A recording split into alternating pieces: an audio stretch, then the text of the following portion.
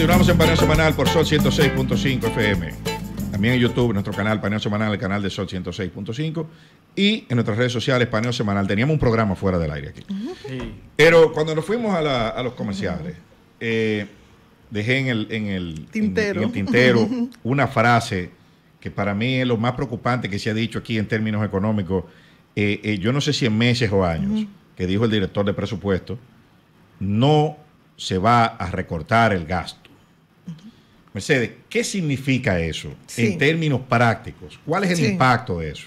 Sí, esa frase eh, nos coloca de que, o nos dice que la reforma fiscal no va a ser fiscal, va a ser solamente tributaria. Exacto. Él mismo se invalida de que vaya a haber revisión del gasto público y de, de racionalización del gasto público. Al contrario, dice, va a incrementar el gasto. No ni siquiera va a bajar al mismo nivel, no, lo vamos a incrementar. Eh, como dijo la, la frase en, en el periódico, agregó el director de presupuesto. Entonces, esto nos coloca ante un escenario todavía de lo que viene realmente es una reforma de gran calado del punto de vista tributario. Es que tiene que ser así, porque si tú no vas a recortar el gasto esto- y tú necesitas un 4, un, un 4. disminuir el déficit, entonces una ecuación. ¿no? Exacto. Una ecuación, ¿Dónde entonces por obligación no lo vas a O sea, si la ecuación del déficit es ingreso menos gasto es igual al déficit, y si tú dices que esa variable va a aumentar el gasto, entonces tiene que aumentar el ingreso mucho más para poder No, que- compensar la disminución del déficit. que tú apruebas una ley de responsabilidad fiscal, Fiscal, ujú. Donde, donde lo que te dice, te autoriza es aumentar el gasto. O sea, lo que No. te pone un tope al aumento del gasto. Sí, eh, eh, eh, o sea, no te habla de reducirlo. Sí, pero te, por, lo, por lo menos te lo pone de que sea incrementado a la inflación más tres puntos Más- porcentuales. ajá, más tres puntos porcentuales. Y- claro, y pero es- aumentarlo. Sí, pero como quiera, eso es un esfuerzo fiscal si se toma en cuenta de que el gasto público aumentó del 2019 al 2023, creció un 70%, tres veces más que la inflación, triple. Wow. Entonces ahora lo estamos poniendo una camisa de fuerza, pero lo preocupante ahí es que hay algunas partidas que quedan sin camisa de fuerza. O sea, las partidas que tienen vocación del punto de vista del clientelismo político quedan sin topes. Eso es muy importante, la protección O sea, social. la protección social. Ajá. Porque aquí, Eh, eh, aquí es un logro decir que todos los años nosotros aumentamos la protección social.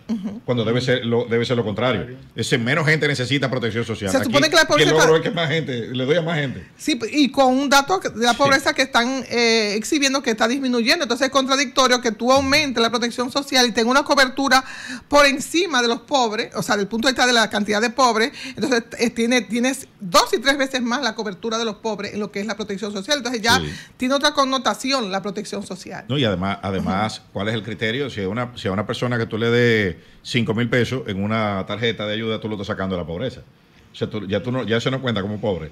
Eso sigue siendo pobre. ¿y Si la cómo? canasta familiar cuenta 30 mil pesos. ¿Y cómo Claro. si se, dis- se disminuye la pobreza cuando tu protección social aumenta? Eso es lo que dice que es eso- que contradictorio, dice. ajá, que es contradictorio que se anuncia la cobertura mayor de los programas, sobre todo Supérate, y el otro lado se está anunciando que tú disminuyes la pobreza. Entonces, sí, la sí. política social hay que Yo estoy manteniendo más gente, pero somos menos pobres. O sea, Sí. como que- Eh, pero siguiendo con el tema Pero- preocupante de las reformas fiscales, porque eh, como yo dije en el programa anterior, eh, esta reforma fiscal es eh, una demanda de los organismos internacionales. eh. Eh, eh, realmente es para poder sostener la- el ritmo eh, eh, de, de la economía, endeudamiento y de acceso a Exactamente, recursos. porque ya los, los inversionistas les preocupa que la relación de intereses sobre los ingresos tributarios realmente ande por un 25%. Ya tiene que apropiar para los, para solamente para la partida de los O intereses. sea, uno de cada cuatro pesos que el Estado Dominicano recibe es para pagar intereses. intereses de la deuda. Le quedan tres pesos. Entonces, Porque el endeudamiento sube, Sí. sigue Sí, subiendo. Sigue subiendo, entonces el pago de los intereses también eh, sigue subiendo. Otra, otra reflexión que sale de, ese, de esas tres líneas del comunicado, eh, o la nota de prensa, Vean que se van, a- van a seguir creciendo los gastos públicos y eh, dice que va a salir en salud, educación y inversión de capital, o sea, formación mutua de capital. Eh, sabemos que en esta eh, pasada gestión no hay una vocación a invertir de- por parte del gobierno. O sea, ha sido una... Privatizado. una- una- una- exactamente, privatizado. Y también una, desde el punto de vista económico, eh, es el ratio eh, inversión de capital sobre el PIB más bajo desde, o sea, de todas las gestiones, hace 72 años a la fecha, ningún gobierno había invertido tan poco, 2% del PIB. Imaginemos Balaguer con una inversión del 6%, Trujillo igual. Eh, en los gobiernos luego del, del, del, presidente Fernández aumenta al nivel de 4 o 5% y el presidente Medina en los de Jorge Blanco y, Guzmán baja a nivel de 3%, más o menos un poco ese es el espíritu de la... De la pero ahora es, es, genético. Sí, entonces eh, ha llegado al punto más bajo, que es un 2.1%. Entonces, cuando dice que van a invertir más, eh, eh, qué bueno sería que invirtieran más porque nosotros estamos penalizando el crecimiento de mediano y largo plazo. Y este zigzagueo que vemos en el crecimiento económico es producto de esa baja inversión de capital. Ya comenzamos a sentir los frutos del punto de vista económico de esa eh, decisión, porque una decisión de política económica, ¿eh? o sea, una decisión del más alto nivel. O sea, cuando yo decía al principio, decíamos, pero ¿por qué es que realmente al principio de la gestión la inversión es tan baja? Bueno, uno creía que era asunto de curva de aprendizaje, después se creía que era, que era un poco más eh, estricto en el tema del... del, no, y también de con la entrada al proyecto de inversión. Hay una serie de evaluación de la rentabilidad, de la tasa interna de retorno y hay un, todo un equipo. Pensábamos que era por ahí, por ser riguroso. No, nos dimos cuenta que ya es, ese es el modus operandi de esta gestión con una formación mutua de capital baja. Y se habla de reducción, porque ya, ya, ya hemos dicho que el, director de presupuesto dijo que no se va a reducir el gasto. Sin embargo, hay unos anuncios de fusiones de instituciones, de eh, que quieren como llevar la idea de que se va a reducir el gasto, pero una fusión no necesariamente es una reducción, es poner a todo el mundo junto en el mismo sitio. Pues en papel. en papel. No en el edificio. Mira, ya, ya de fusión ya conocemos. O sea, hubo fusión. Eh, no, no, y también ah, eh, en, la, en la cuando uno mira la, propuesta de programa de gobierno y luego lo que ocurrió, que se, algunos ministerios se fusionaron, ¿sabe cuánto aumentó el crecimiento de las remuneraciones de asalariados? Mm. Creció en 100 mil millones en tres años. O sea, habiendo ejecutado más o menos. Donde el crecimiento de... las remuneraciones en cada ministerio, todos crecieron en dos dígitos, del 19 al 23. Y el ministerio que está llamado a trazar, eh, eh, del punto de vista, la, función pública, ¿verdad? La racionalidad en el gasto, fue el que puso el ejemplo con un crecimiento de un 150%. Es el, de administración, pública.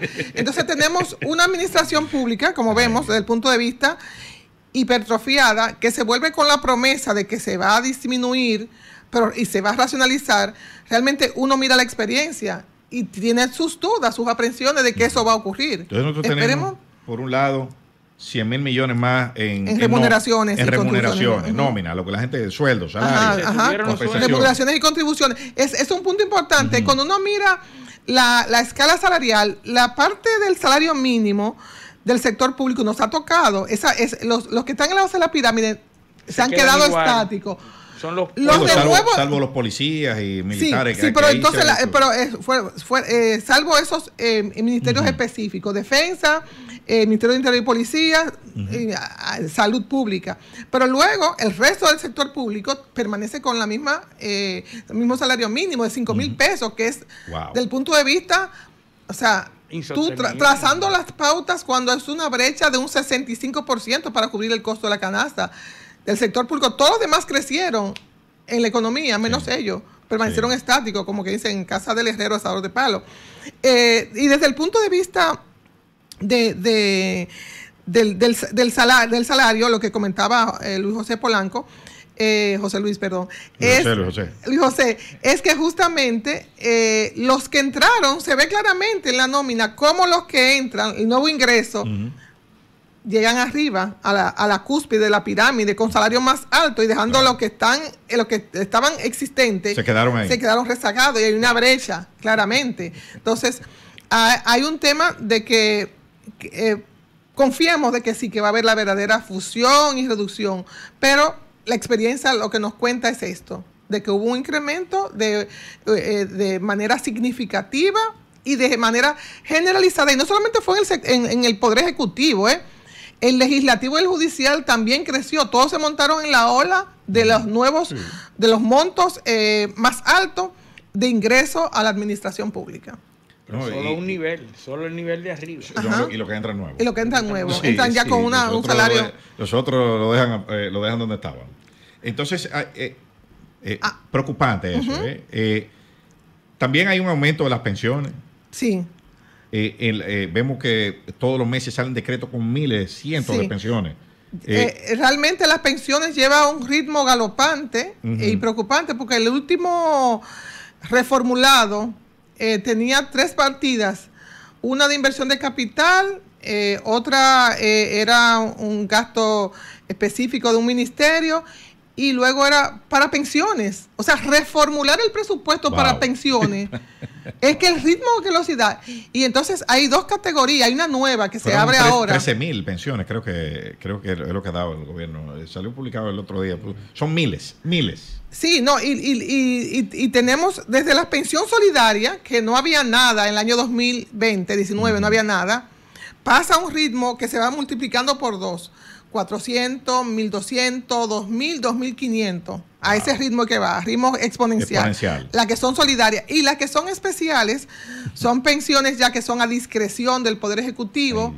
Y esas tienen montos que van desde 100 mil, 50 mil. Y entonces se ve claramente no, que. hay de todo, hay artistas, políticos, hay gente, hay de, todo. Entonces, volvemos de nuevo ante una reforma laboral donde el sector público va se, supone que es un agente económico, que se supone que el, código laboral, ¿verdad? Sí, eh, claro, entonces, para todos. Entonces tú, tú tienes, es, eh, como ya vemos, unas remuneraciones desbocadas, unas pensiones que están a un ritmo ya significativo con categorías que se generan ahora en esta gestión. Entonces, esos son temas que tú debes ponerlos sobre la mesa ante una reforma laboral.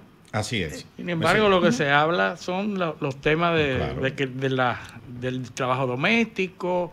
O sea, siempre se tocan. Por, lo que tú dijiste al principio, nosotros hemos perdido la capacidad de analizar.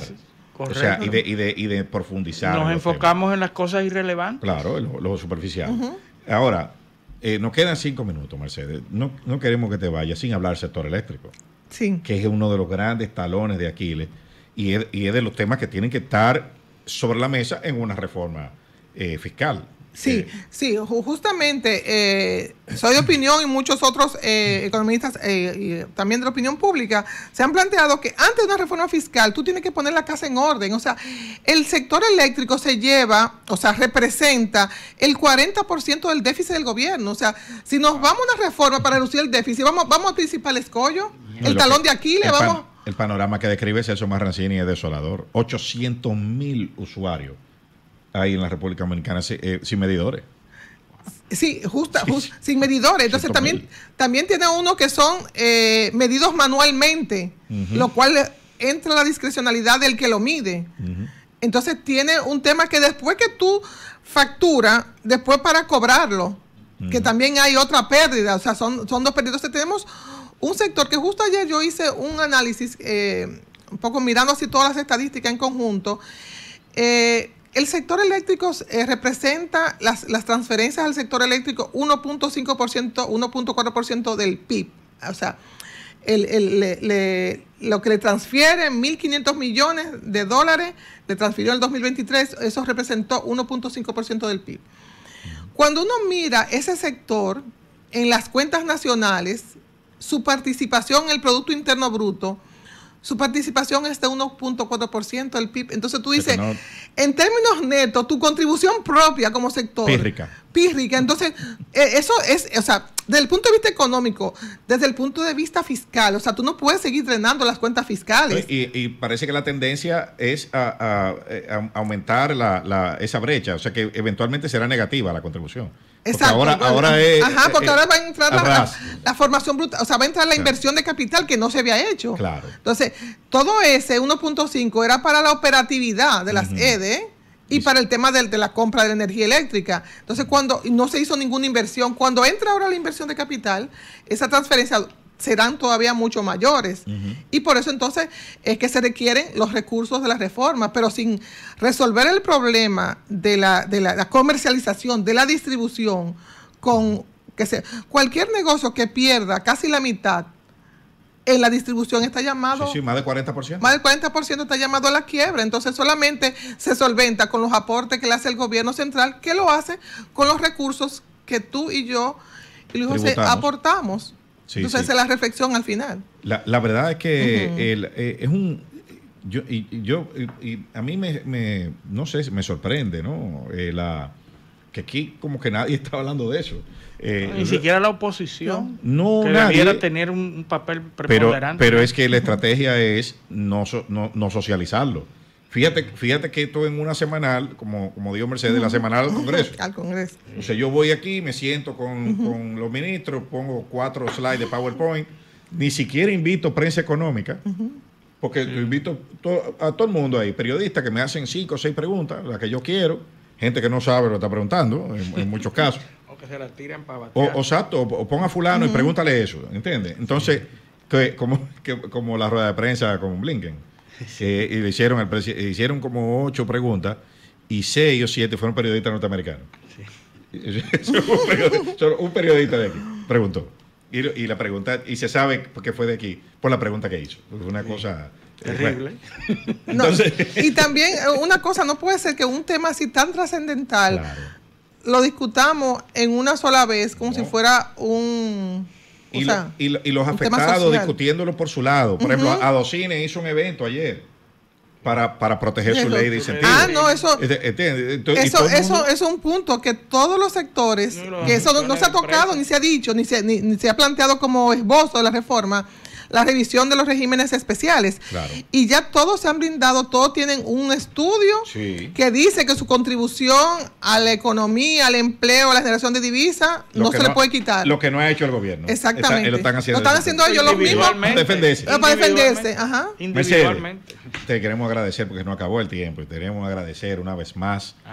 Eh, Brillante, siempre eh, que aporta. Excelente, excelente. Lo que, lo que nos faltó fue tiempo pero e, eso, eso la compromete a volver. Así que gracias, Mercedes. Y muchísimas gracias por la invitación. A nuestros teleoyentes, agradecerles su sintonía este sábado y, pedirles que el sábado que viene nos acompañen, con el favor de Dios, en otra edición de Paneo Semanal. Hasta entonces.